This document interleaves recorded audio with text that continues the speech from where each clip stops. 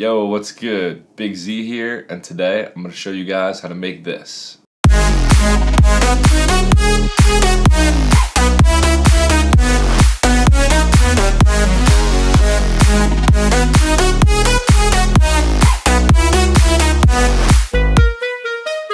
So the track is by Mesto and Mike Williams. It's called Wait Another Day. I know it's a little bit old, but you guys have been requesting this song a ton, so I figured I might as well remake it.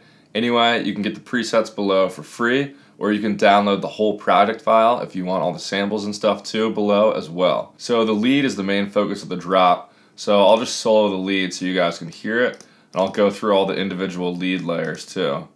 So here's what all the lead layers sound like together. So first layer sounds like this. Second layer. Third layer. And fourth layer. So each is kind of serving a different purpose and I'll get more into that. But uh, this first layer is really like the main sound that's taking up the most room in the mix. So uh, it's just a classic saw lead. It's a really big saw lead um, in Serum. It's a saw wave with 15 voices of unison and some detune. And then I have this bend plus minus feature on. I just turned it all the way to the left. So that makes the sound a little thinner.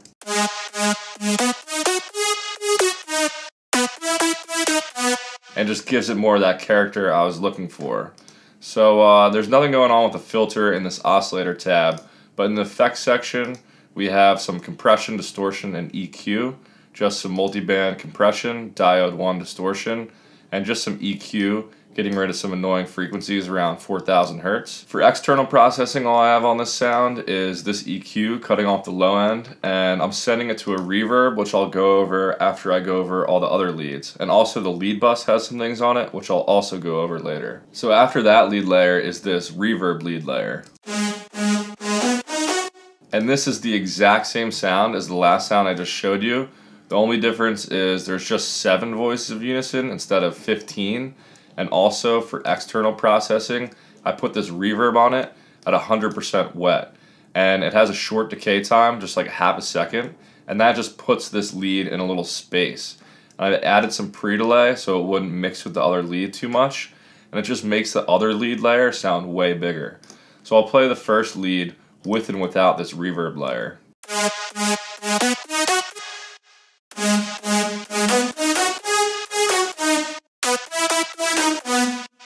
So it makes a huge difference in just making the lead sound a lot bigger. So those are the wider leads. Now we have to have a lead that's right in the middle of the mix that's kind of the driving force. And that would be this third layer right here. So this lead layer is this MSAW wave that you can find in the analog section. And I've used the bend plus minus feature and turned it all the way to the left and the wavetable position is all the way to the right. And it just has one voice of unison because it's right in the middle of the mix. I forgot to mention the other leads I had this going on too. I have mono checked and I've always checked. So I have some portamento on there so the notes kind of glide into each other. Then in the effects section on here, I have some dimension expander, um, some multiband compression, some diode 1 distortion, and that same little EQ cut just to get rid of some annoying frequencies. So without all these effects, it sounds like this. Then with the effects. The effects just really bring it to life. So the only external processing I have on this one, again, is just a little bit of EQ. And then there's one last lead layer to talk about.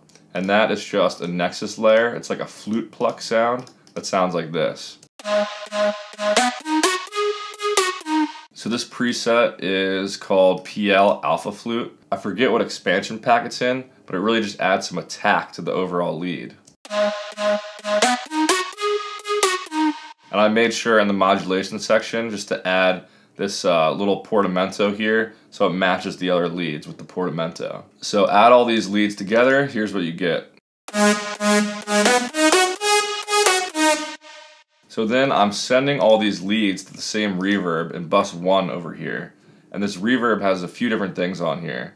So it has this transient designer just taking out the attack of the sound before it gets to the reverb. Then is the actual reverb, which is uh, a Valhalla Room large chamber down here. And then I have some EQ, just cutting off the lows and highs of the reverb. Then after that, I added some OTT to compress the reverb, make it sound bigger. And then I added some compression so I could sidechain the reverb signal to the lead signal. So all these leads I'm sending to bus 22 here, which has no output, so it's not doing anything. But then I'm taking bus 22 and using it as the sidechain input for this reverb. So now every time the lead plays, the reverb signal ducks and then comes back in in between the notes.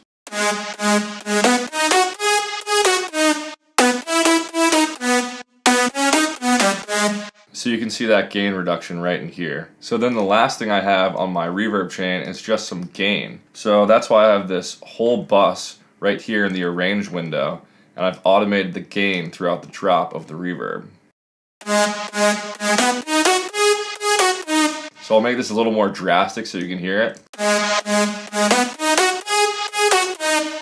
So I just had it at plus 6 dBs for those rises, and then every once in a while the reverb just completely cuts out. That's just to make the last snare hit of those bars stand out a little bit more and just cut out the reverb. So then the last piece of processing on these leads is that I'm sending them all to bus 5, which is a lead bus, and I'm compressing them together with this Logic compressor that sounds really good, I think. So without this compressor, they don't really sound glued together at all. Then once I add it in, they sound a lot more glued together. I'm also adding a little distortion with this module down here, the soft distortion. So then after that compression, I'm adding a little bit of overdrive, and then I just have two EQs kind of to shape the sound after that. So I just added those EQs during the mixing phase just to make it sound a little bit more like the original. And then I have some kickstart sidechaining it. So without all that stuff on the lead bus, here's what the leads sound like. Then with all those effects,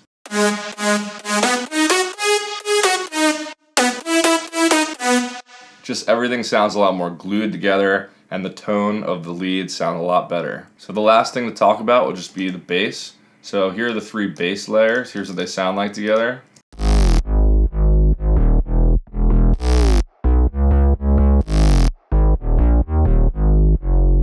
So first up, we have a sub bass layer that is just a saw wave, one voice of unison, two octaves down, um, compressing it, distorting it, and filtering it so none of those high frequencies get out.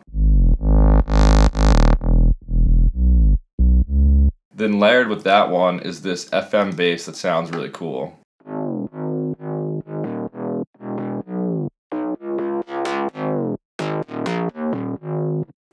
And I'll link this preset below as well if you guys want it. It's a pretty simple sound as well. And then you'll notice the bass is sliding in pitch at some points throughout the drop. So if I go into my MIDI here and check out the pitch bend section, you can see where the pitch bends are.